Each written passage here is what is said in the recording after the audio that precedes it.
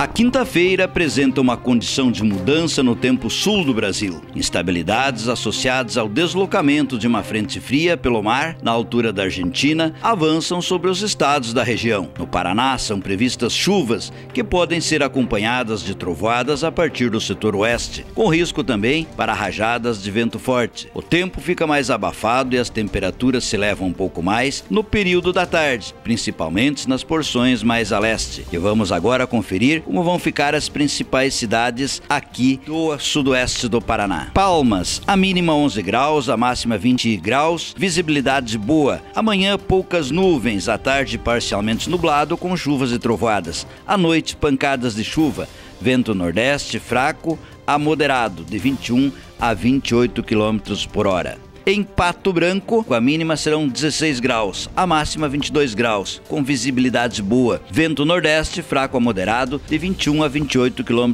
por hora. Durante a manhã, pancadas de chuvas e trovoadas. À tarde, parcialmente nublado com chuvas e trovoadas. À noite, pancadas de chuva. Vamos ver como é que vai ficar o tempo para Francisco Beltrão. Temperatura mínima 16 graus, a máxima 22 graus, visibilidade boa, o vento sopra do nordeste de fraco a moderado de 21 a 28 km por hora. Durante a manhã teremos pancadas de chuvas e trovoadas. À tarde, parcialmente nublado, com chuvas e trovoadas. À noite, pancadas de chuva. Esta é a previsão do tempo para o dia 20 de abril de 2017, quinta-feira.